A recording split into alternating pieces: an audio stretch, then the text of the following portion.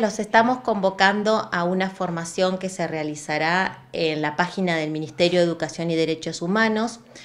Eh, esta capacitación la hemos propuesto desde APASA. APASA es la Agencia de Prevención y Asistencia de Adicciones de la provincia. Y en mi caso yo estoy representando a la Dirección de Articulación entre el Ministerio de Educación y eh, la agencia. Como les decía, esta formación es muy importante porque pensamos en visibilizar la cuestión de los consumos problemáticos. La formación se llama eh, una, poder visibilizar y una mirada distinta a los consumos problemáticos.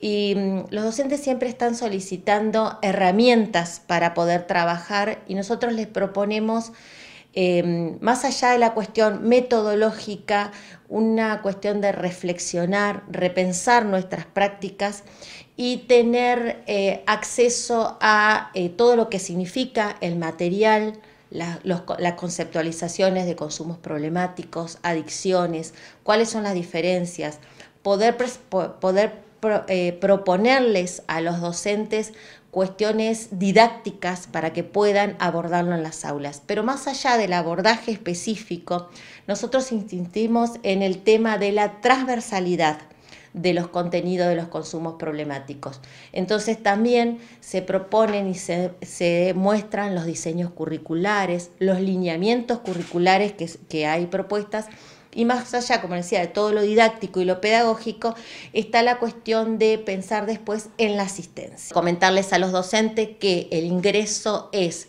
eh, por el programa de eh, formación permanente en el campus virtual del Ministerio de Educación, es sin inscripción previa. Em, otorga puntaje y directamente los docentes acceden a la página y la capacitación, la formación es autogestionada y tienen tiempo hasta fin de año de poder realizarla.